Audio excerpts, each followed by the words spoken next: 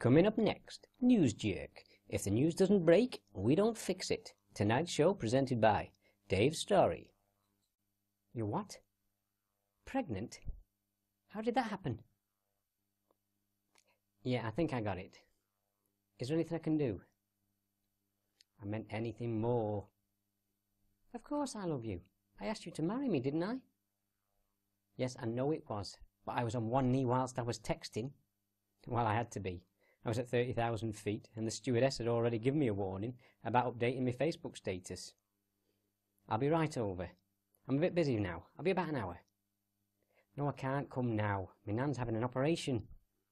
No, not to dig her up. My other nan. Look, it's not you, it's me. You didn't have to agree that quick. No, don't cry, don't cry. We may have to sell that iPhone to pay for nappies. I'm not heartless. I gave you everything I could.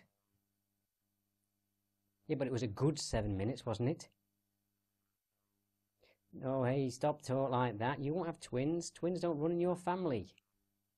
No, Uncle Eric and Auntie Erica are not twins. They're the same bloke.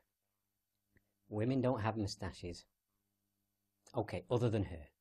Look, I've got to go now. I'll be over as soon as I'm done here, right? Ditto. It is romantic. Patrick Swayze says it in Ghost. I don't remember him saying that. Oh, I've got to go now. I'll catch you later. Okay, bye.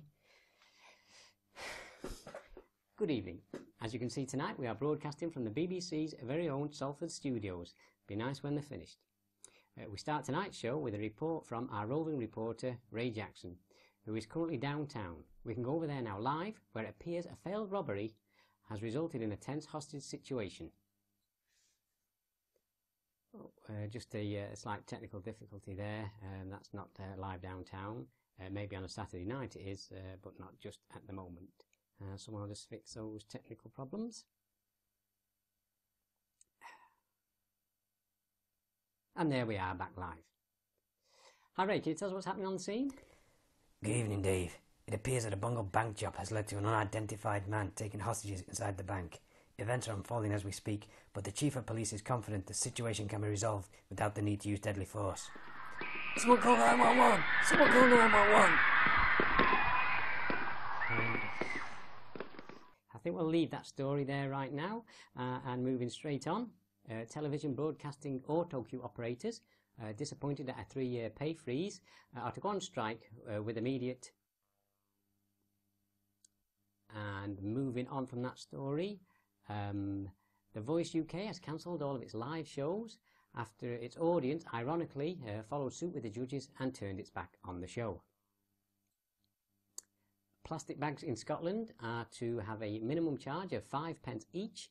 Uh, once again, the cost of a greener planet uh, is yet another stealth tax for those who enjoy autoerotic asphyxiation, uh, so I heard. Uh, doctors are planning to safeguard their pensions with further strike action. Uh, that way, without uh, life-saving treatment for the sick and elderly, uh, more will die, leaving more money in the pot for them. Oh, and tonight's weather forecast.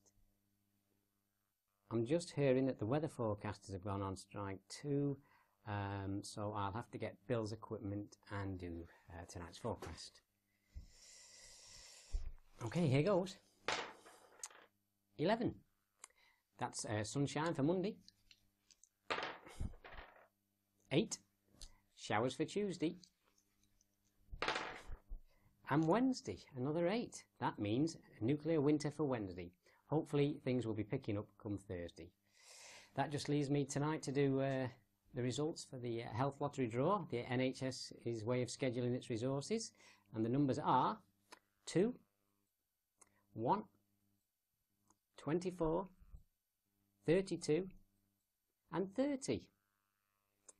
Uh, news just coming in now that there is one lucky winner this week and it's Edna Bainbridge from Stoke-on-Trent. Well done, Edna.